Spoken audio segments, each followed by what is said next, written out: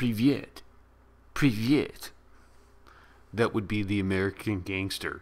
Privyet. What's up? Whew, I crack myself up. What's up, Russia? How you doing? This is the professor, the nutty professor today. I am the hobo professor. I need to shave. I'm going to shave this morning. It's I got up about 11:30 at night. I woke up and said, "I have to go answer messages." I'm VK. What? Crazy. Hey, uh, Anna, Regina, thank you so much for the group. I really appreciate it. I um, I'm touched by it.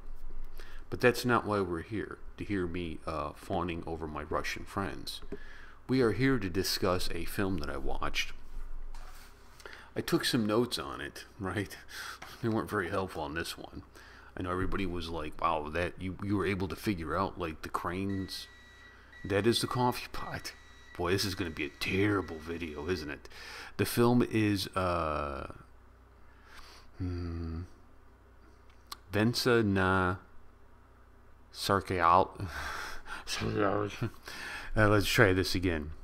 Um, yes, Vesna na Zarkona Altai Spring on Zarcona Street. That's what she said. Um, and it was English subtitled, which was helpful, kind of, but I still don't know what the hell was going on. I watched this film. It was recommended uh, to me by one of my Russian friends, and they said that they watched a couple times a month.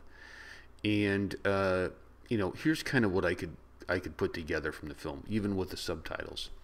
But I'm gonna have some questions. Maybe you guys can help me out here. So you have this. You have this. Uh, I think her name was Sasha.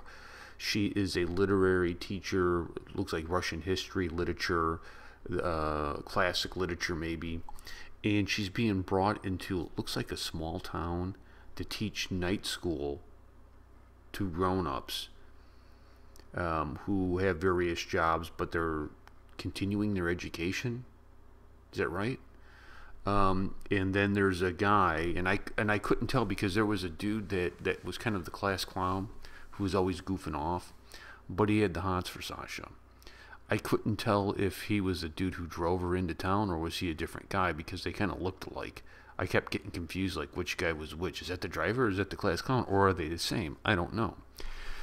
So you see these these antics of her trying to get control of the class. This one disruptive student who will not cooperate, and um, and what we find out is maybe he suffers from RAD uh, or was it RAD, uh, AD.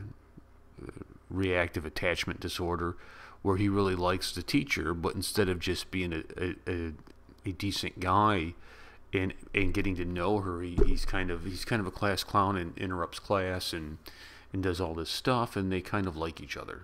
Is kind of the gist I'm getting. But you have, I don't know, is she uh, she's educated, he's not. You know, does she come from money and he doesn't? It's like the two worlds colliding the wrong side of the tracks and we see this love story kind of play out or this wanted love story. I'm going to assume it's a love story.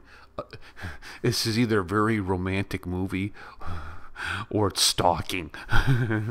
One of the two. There's a fine line between romance and stalking. Remember that, my young friends. There's a fine line between being romantic and being a stalker.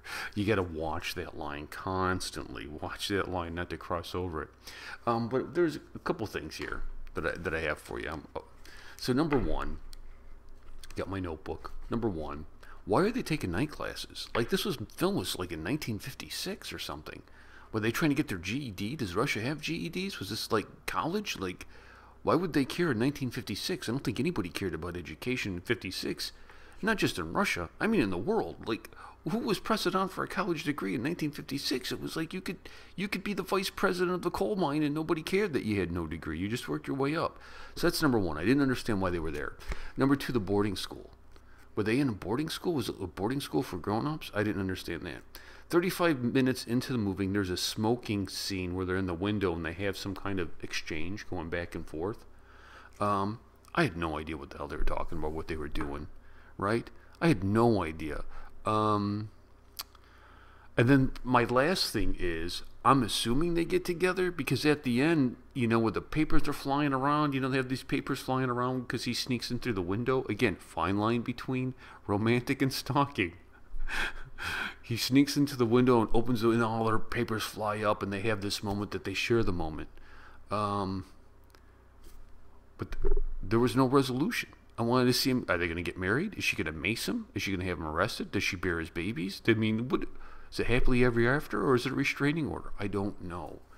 And that really bummed me out that I couldn't figure out like what the heck happened. So any thoughts and comments you guys have on that would be greatly appreciated. You can hit me up down there in the comments. And go to VK, dude. I'm on VK. I'm rocking it. I'm throwing elbows. Pa pa pa pa. pa. I'm I'm okay. Whatever. I'm gonna stop right now, and uh, I'll catch you guys later. Peace and much love.